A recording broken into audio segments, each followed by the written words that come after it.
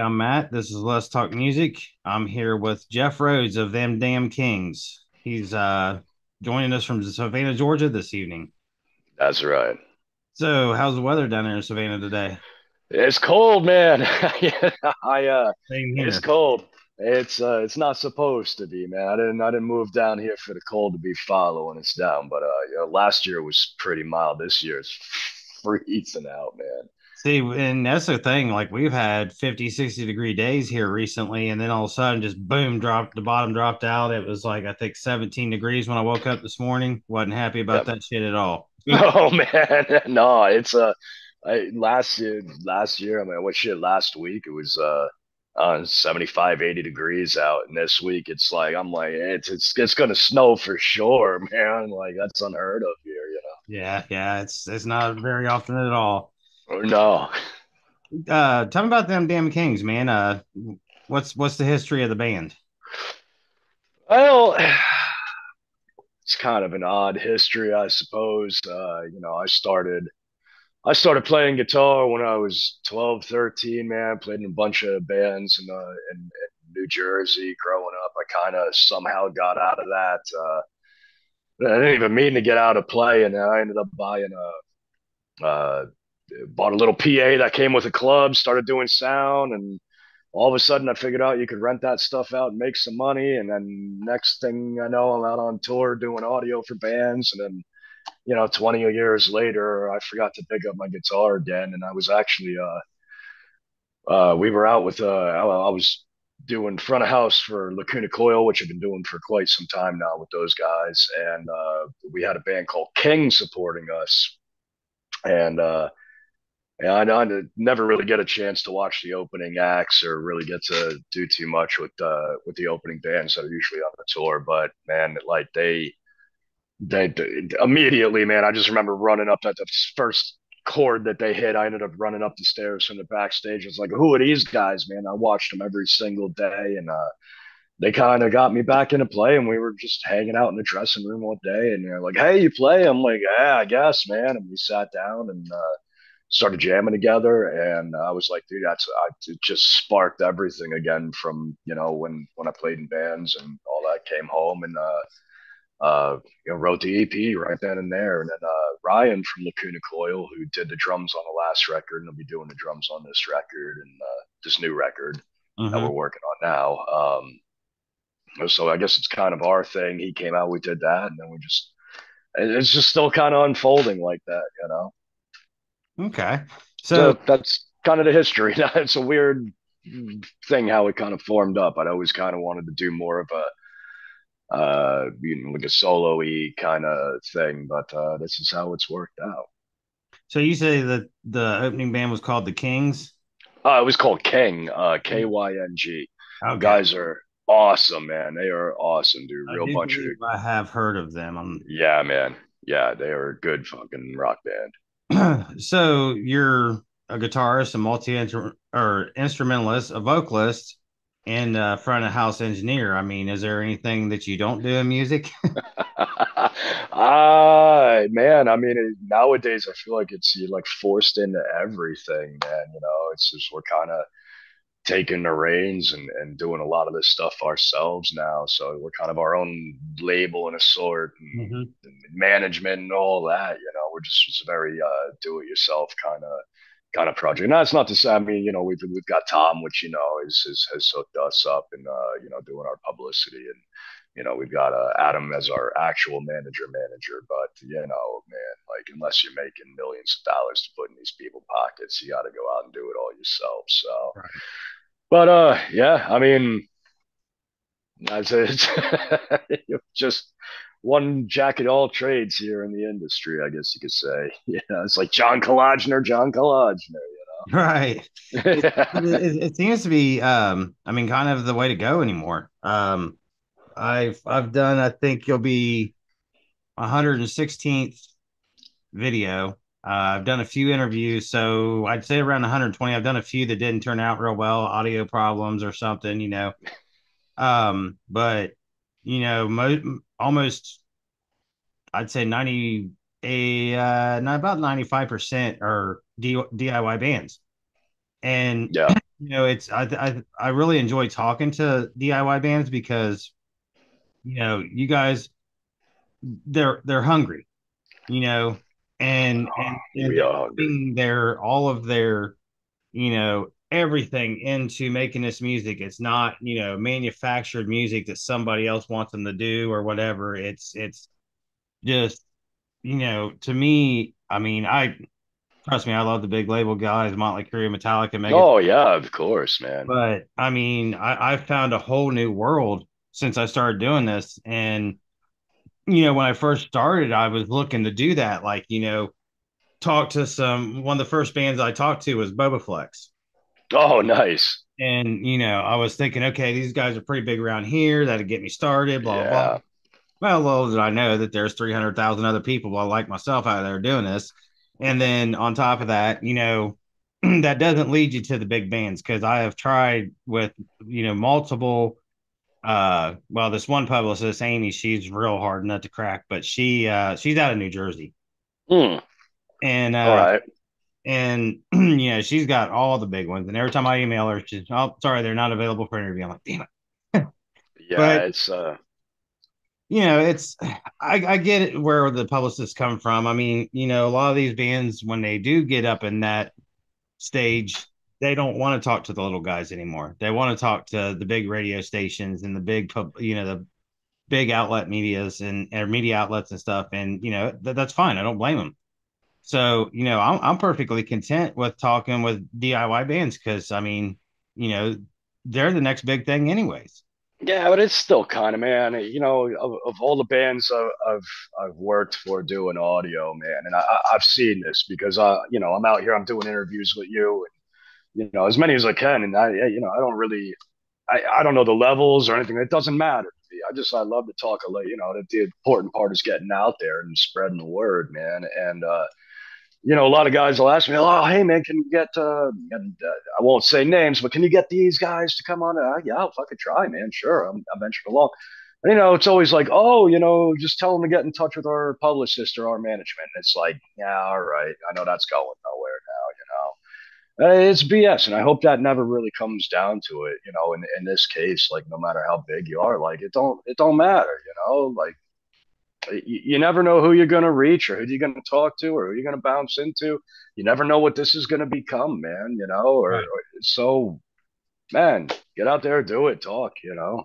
Oh yeah, and I mean that's that's the thing was uh the reason my my website is rockmusicandmore.com. Um I I created that because I my primary knowledge is rock. I've I've been, you know, since I, I can't even tell you when, just a, a metalhead. And then like you know, so I'm like, okay, but I'm not closed off to other genres. You know, if you want to bring me some Yeah, hip yeah. or country or whatever, let's do it. Um, but you know, I, I I named the the title was Let's Talk Music because I would always talk to my wife about like, oh well, this guy did this and this guy did that, and she's like, dude, you know, I'm glad you love music as much as you do, but I'm not into it like that. yeah. Like, you know, start a blog or something, and I was like, okay, so next thing I know, I get the idea, hey, why don't I, you know, see if I can interview somebody, and then I kind of went from there, and I mean, it's I love it. And I I talked to um like you said, it opens up some doors. I have what um five new publicists that I've picked up uh over in Europe. Awesome. Yeah, and I'm telling you what, man, the the the, the difference between European metal and and our metal is night and day. Yeah, night and day, man. Night and day. And the whole attitude over there is is completely different than it is here. You know, that's actually today, man, when I was going through all my emails and I saw the uh, you know, the charts come out for the, you know, basically the end of the year stuff with the NACC charts and all that. And I'm looking down at the top and I'm like, there's not a single fucking rock and roll band on there, man. There's no rock, there's no metal. I'm like, this is ridiculous, you know? And Mhm.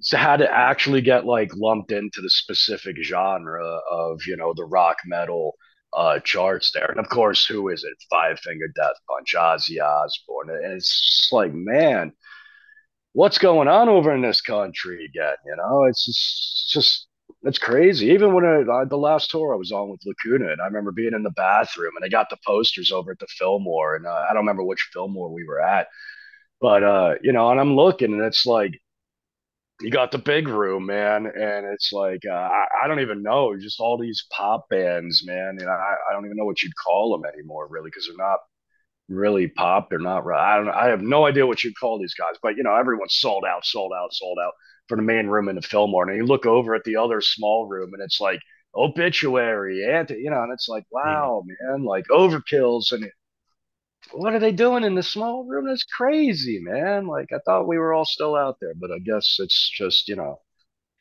I guess we're all getting old. Nobody wants to leave the couch anymore. I don't know. hey, um, I, am ready to leave the couch every time. Yeah. The town, man. So, yeah. um, recently you toured with Gemini Syndrome. Did we did? Yeah, man. Yeah, it was nice to go out with those guys. How uh, how many uh, days was that? Would you guys hit like quite a few states? Well, it was. How long was that, man? I, think it was just shy of a month that run.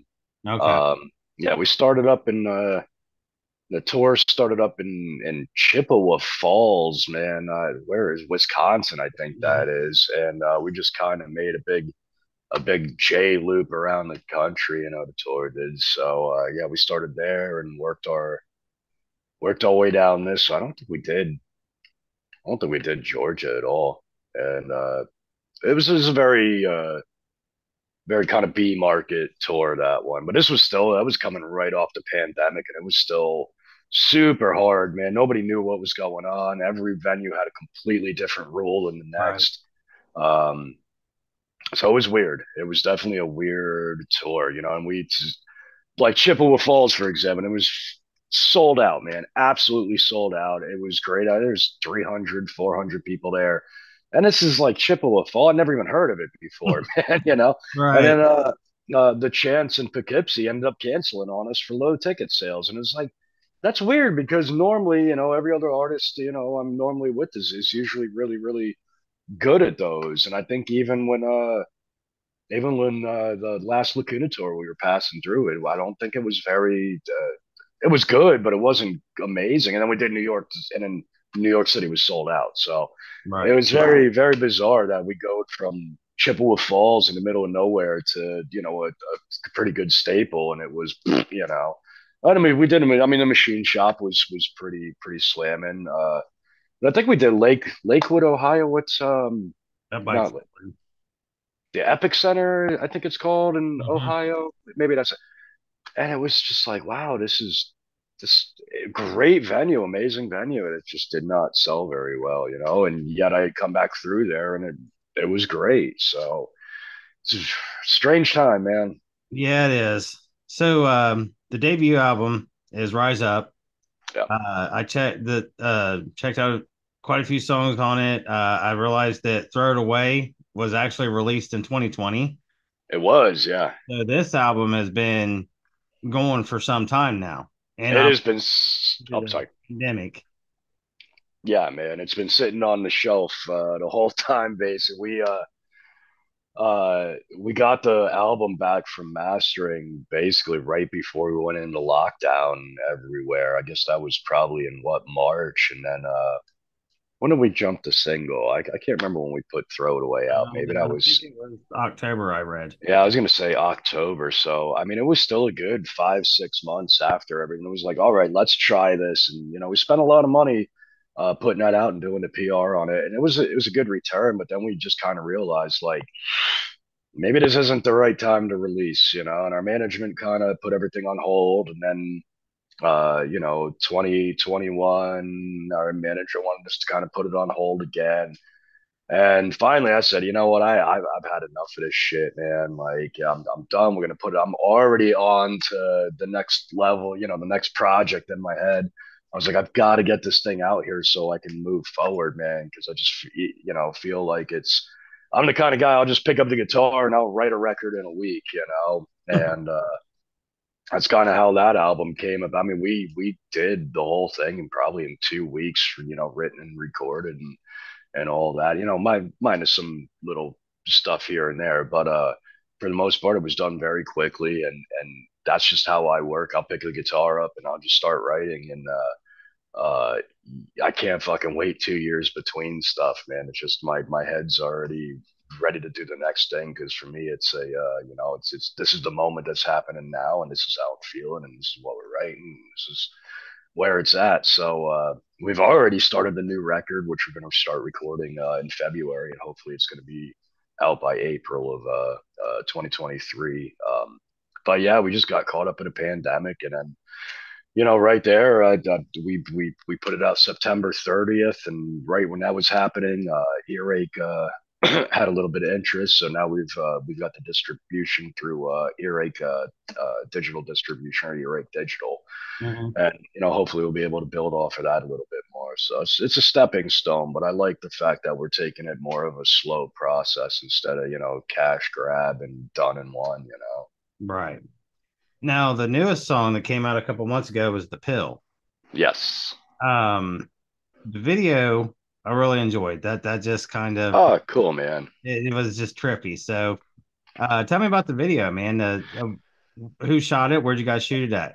I shot the whole thing, man. Uh, we shot it in my basement. Really? the entire thing was shot in my basement, and uh, I just bought a new little Canon uh, M50 camera. It's like the cheapest, best grade camera you can get. You know, I mean, it's it's it's a nifty little camera, but I've been wanting to get. It costs a lot of money to shoot a video, man. And I'm just yeah. like, how can we do this? How can we make this happen? Uh, you know, I mean, Throw It Away was shot all on our iPhones, and Ryan was, uh, uh, you know, he's he's in Spokane, Washington. So I'm like, how can we do this during a pandemic? And that's what we just set up iPhones in our homes, and we all sent each other the video and kind of edit it that way. But uh, uh, the pill, man, we I had. we had such this grand plan to like you know have it done a certain way and i'm like ah we're gonna make this really look like a hospital. We're gonna do this, and we're gonna do this, and we, uh, you know, hired like all these chicks to come down and be in a video, and like, it, it never happened that way, you know. So it just ended up with with all of us just uh, in the basement. We shot the band footage, and I'm like, fuck, I really just want to add this stuff in. So we got Angela, my my you know fiance, to get in there and just that's just kind of how we did it. And I'm like, uh, you know, uh, uh, how do I do this, man? So I started. Uh, I don't remember. I was watching some movie and I was like, yeah, how do they? I think it was sorry, it wasn't a movie. I was watching a, a Guns N' Roses video, mm-hmm. and it was a, um, uh, I think it's "Don't Cry." Where he kind of like walks through the mirror, you know, and then he walks through the door, and I'm like, how the fuck did they do that? So uh, yeah, I was just like, well, let me try setting up the camera and trying a couple different things here, and I managed to make it work with doing the different shots of uh, putting myself in there and all that, and then uh, that was just kind of fun creating it, man. I mean, we I've got this glass table down there, and I just chucked the camera underneath myself and played through the whole thing, and that's how you get that kind of upward. So it was a lot of fun doing it, and it cost us uh, nothing. so can't beat that. Yeah, yeah. So it was really it was it was cool to be able to do it. I mean, for me, like I'm super unhappy with it. Uh, just for the fact that like I saw the million dollar production in my head and you know we were but in the end, you know, it's like, hey, we kinda got something pretty cool uh out of it, man. It really it cost us nothing. We had a great time doing it. Uh, and it only took us a, a, a day to really actually do everything and then maybe it took me another couple days to edit the footage together and uh, you know a couple different renders and and that's what we came up with. But i also got that whole thing of like you know I, I, I can't focus on on being like this is what it is. This is the footage we got. Uh, what's the best that we can do with this? And you know that's what we came up with. I mean i'm not going to sit it i think for what we did uh it came out pretty cool man. And people seem to enjoy it which is pretty pretty awesome. I hope that i get to be a better filmmaker, you know, because it's something that I, I really enjoy too. That's awesome. Yeah, yeah. It, it, did. It, I mean, it it looked like it was professionally shot. That's why I was asking. You know. Oh, that's cool, man. Yeah, just all, even even like the close up. I'm holding the camera like this to myself. I'm, you know, we, we just set up different uh, tripod uh, things in the basement, and uh, you know, I think maybe I got one of the girlfriends to grab the camera and just do a click with the band, and that was it for the most most part it was all all myself man and You know, like he even built this little dolly for that. I think there's one shot with the cameras kind of like coming into the TV, and I was like, "How are we gonna do this?" I found some like old PVC pipe and a skateboard, and I built this little makeshift dolly that you could just push the camera on them. Like, cost us nothing, man. Just shit I had in the basement, you know. Yeah, can't beat that. yeah, yeah. So you know, message out there to all the kids: just be be creative, man. You know, figure it out. You don't need to spend a lot of money on uh, you know on on stuff you can do this. Yeah, and I mean that's that's part of that, you know, DIY mentality. A, a lot of these guys are. They're like, you know, uh, well, I got a good friend that you know is involved in this and this, and you know he came and did this with us and helped us, and you know it cost us like five hundred bucks or like a thousand dollars. And I remember uh, talking to uh, oh, uh, I'm not even gonna say his name because I screw it up every time. We'll just just go with uh, Miko. Uh, he was the lead singer for Steelheart. Yeah, Did yeah. an interview with him, and we was talking about making videos, and he was like, "Yeah," he goes, uh, "The one for uh, Everybody Loves Eileen." He said we spent like one hundred and fifty thousand dollars. yeah, and I'm like, "This Yeah. is really '90s, man." So yeah, which I mean, videos anymore are a lot easier for people to make. They're a lot cheaper because you don't have MTV anymore. You don't have no, the big productions like Thriller and you know videos like that that just you know just shot off those albums. I mean, honestly, I mean Michael Jackson, yeah, great musician, but do you really think that Thriller would have been that big of a song or that big of an album if that uh, that video hadn't come out? I mean, you know, look at Queensryche. I was just uh, reading a bit about that. You know, for me, Queensryche's always been big in my head. You know, Mhm. I've always heard him on it, but I honestly didn't realize that. Uh, you know, I which okay, I, I think it was Operation Mindcrime, and they were uh, uh, out there doing a tour, but they were supporting. I mean, they weren't a headline band yet. They were freaking out because they couldn't actually do, you know, the what the album was meant to do in its entirety, and uh, nobody was interested in really picking them up until they went and they sh- spent the last of their money making uh, uh, one of the videos off the record, put it on MTV, and boom, and just like that. So MTV was a was a great tool, and I'm just not sure what the tool is anymore here. You know, because let's face it, I mean, you know, you get uh, you know, YouTube. I mean, what did they get? I get something like I can't even I can't even pronounce what the amount of of of megabytes worth of content's being uploaded or gigabytes. Mhm. What I, I can't even know. I don't even know what it's called. It's like a quintuplet or something like that. That's getting posted every hour. And the same with like Instagram. It's like, how do you really kind of weed through this and compete with with everything that's happening when there's a million bands and so so you know, I'm not trying to bring myself because I'll get caught in this loop where I'm like, oh, why bother, man? But you know, at the same time, you got to. This is where it's at. You know, Right. And I It mean, just apparently it, it it sounds like it's you know what makes you happy and you know it, you you had fun making the video and stuff so i mean that's i think the most important part i mean yeah, your your music touching people and making them happy and getting out there is, is all part of the process. But I, I feel like it starts with you yourself of you know okay i created this and i really really like this. And you know i did put it on youtube with all these you know trillions of videos and you know i've got you know 5000 views in a week. I mean you know you you, you yeah, can't you can't really look down on yourself for that i mean because like you said it's everybody's doing it i mean that's what i do with my videos i you know i i put them on youtube and just hope that i can reach some people yeah. I think the problem is, you know, we're we're not Kardashians, you know, so right right well, that's really the world it's in right now. But I mean, you know, it, it, you get I see some of these guys from Europe that I've especially Sweden, man, that I've just I've never heard of, and they're just blowing up right Mhm. now. All over, it's great, it's awesome, man. So Yeah. it works, it's working, man. It's it's working. a band that i interviewed out there called beneath my feet uh check them out i believe All right.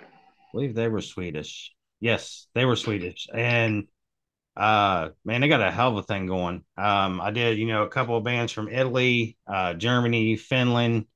Uh hell, the one guy from Finland was like, you know, this isn't really my mother tongue, so you know, it, you know, can you edit it? And I said, bud, don't worry about it. I, I was like, yeah. you know, I can understand what you're saying. Everybody's gonna be fine with it, you know.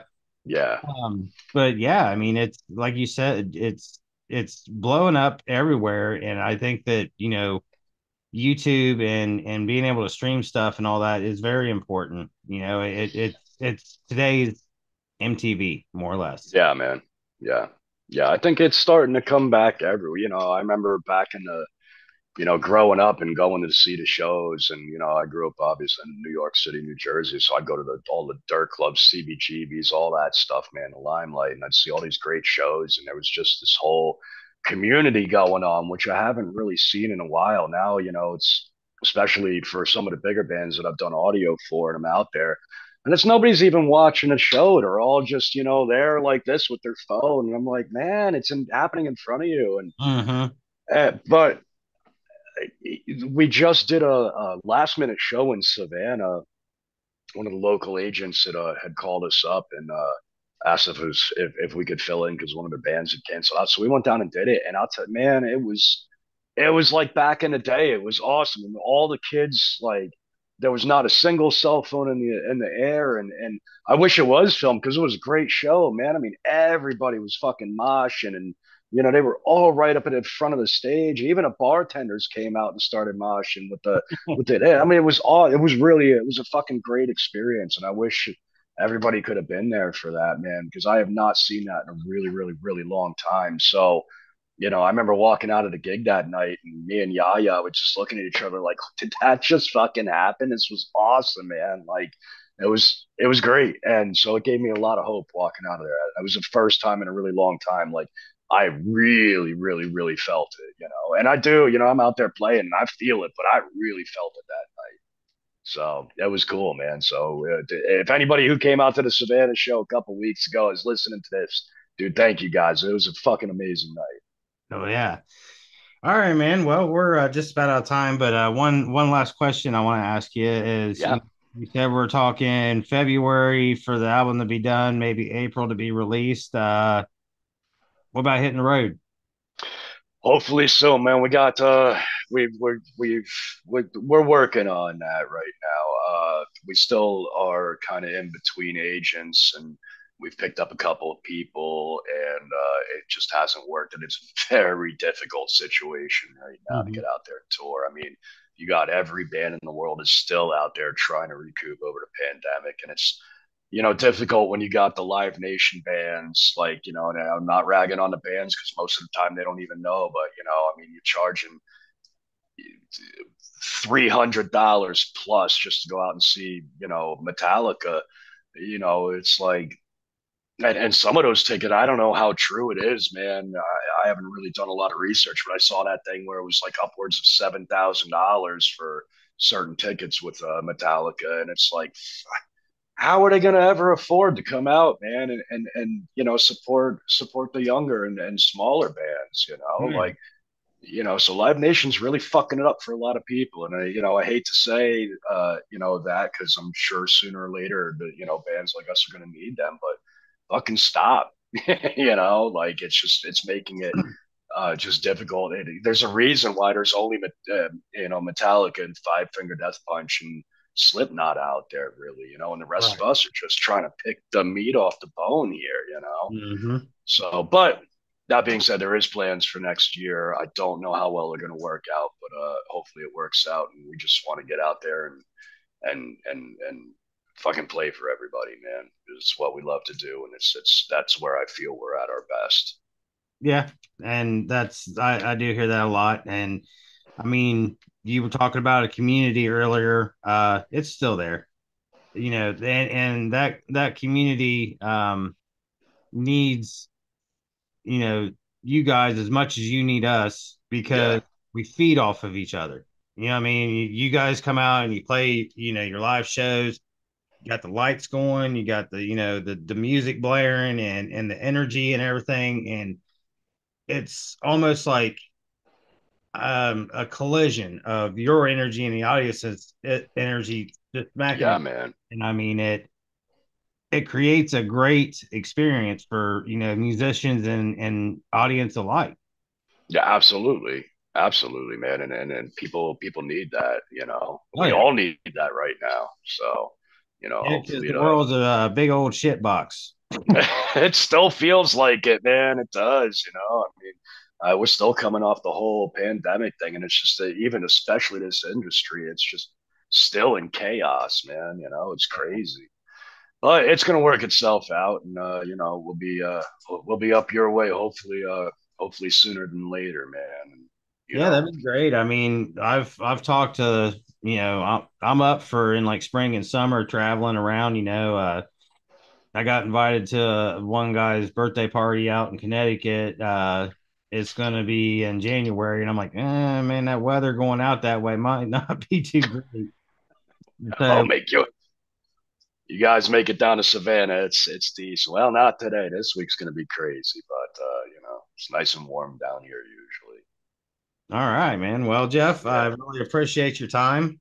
Um, you know, like I said, anytime. sorry it took us so long to connect. Um, I know shit happens. It happened with you. It happened with me. So, Well, it's worked out, and here we are. yes, sir. Yeah, Well, man. you uh, you have a good evening, and sir, um, I am looking forward to some new music in 2023. Uh, really dig the sound, and definitely looking forward to some new stuff. Awesome, man. Looking forward to sharing it with you. Looking forward to be back, man. And for all you guys out there, don't forget, check us out at uh, themdamnkings.com and everywhere else on the internet at Them Damn Kings. You can find us everywhere. Go check out the Spotify. Please check out the YouTube stuff and uh, enjoy, man. Uh, thank you guys for for thank you for having me and and thank you guys out there for having us. All right, brother. You have a good evening. All right, you too, man. All right, later.